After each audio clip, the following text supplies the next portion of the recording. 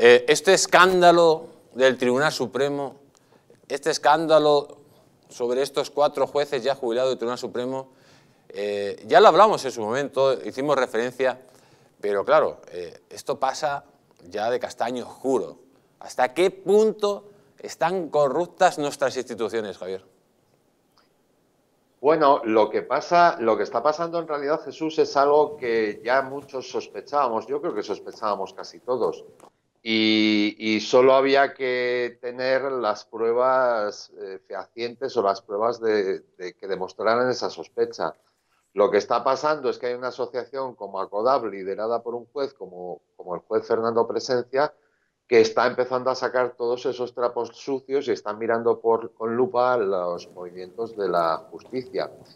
Y está demostrando algo que, todos eh, sabíamos que existía en realidad, que era como un secreto a voces, que en la justicia hay, corrupción, como en la mayor parte de los poderes públicos, y, bueno, está saliendo a la luz, lo que, pasa es que, claro, sospechábamos que había, pero no sospechábamos que fuera que llegara a unos extremos como, como estos, la verdad.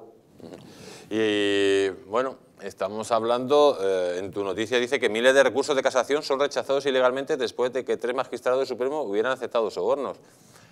Entonces, ahora todo, si esto sale a la luz y, se le procesa a esta gente, eh, ¿qué va a pasar con todas esas sentencias?